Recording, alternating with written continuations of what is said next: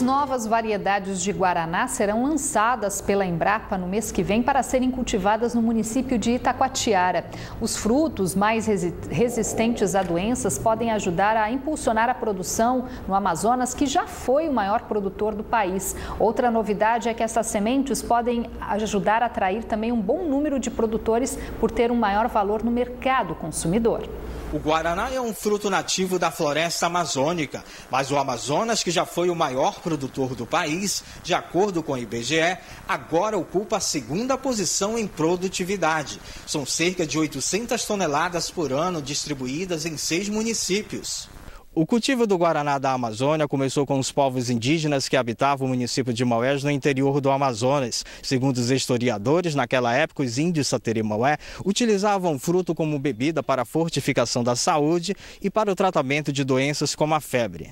Atualmente, o maior produtor do fruto que se adapta facilmente a climas quentes e úmidos é a Bahia, onde a produtividade chega a 2.500 toneladas por ano. Há mais de 35 anos, a Embrapa desenvolve no Laboratório de Biologia Molecular pesquisas voltadas para o melhoramento genético do Guaraná, que começam a dar sinais de recuperação na produção do Amazonas.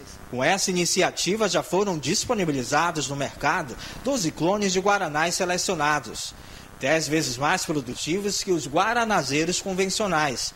A pesquisa mais recente da Embrapa em Manaus descobriu duas novas cultivares voltadas para o plantio comercial, a satereia marabitana. Eu, eu, imagino que os produtores eles recebem muito bem esse resultado de pesquisa do guaraná, porque o guaraná é uma espécie nativa, né? Ela é explorada comercialmente somente aqui no Amazonas. Então, é, é esse resultado ele só melhora a cultura na região, essa cultura que é nativa daqui. Então, com esse resultado, você pode aumentar os plantios e trazer mais retorno econômico para os produtores. Ainda de acordo com os pesquisadores, as novas cultivares também são mais resistentes à doença da antracnose, um dos principais responsáveis pela queda na produção de guaranazeiros no Amazonas. Um dos valores agregados é que você tem a resistência né, genética da planta. Você vê que é uma planta sadia na folha, que é a doença da folha, que é a antracnose. Então a gente não tem esse problema da doença.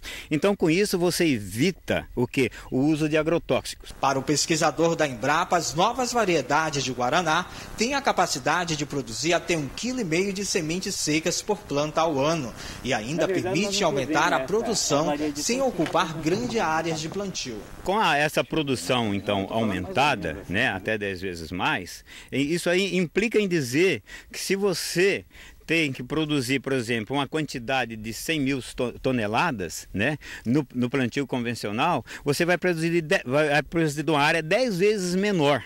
Você está entendendo? Então isso vai de encontro o quê? Ao desmatamento.